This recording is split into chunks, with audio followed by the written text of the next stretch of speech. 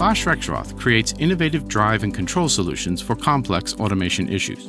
One automation challenge is damping vibration. Parasitic vibration occurs in almost every manufacturing process. Damping this vibration can prevent abnormal tool wear, decrease cycle time, and help ensure precision and sensitivity when handling fragile materials in applications such as semiconductor, lab automation, and material handling.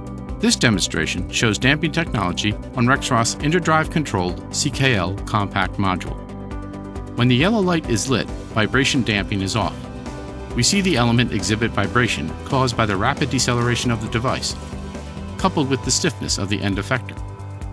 However, when the cycle repeats, vibration damping is enabled, as indicated by the green light. The device shows almost zero parasitic movement due to the counter motion corrective commands issued by the drive.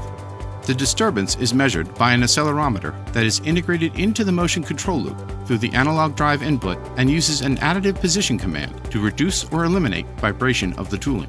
The drive can also compensate without the need for external sensors by using a combination of torque feedback and the estimated inertia of the system. This Rexroth solution is the only technology on the market that can compensate external disturbances at the drive level using motion. This drive-based solution makes it possible for system designers to use any master or controller to implement vibration damping.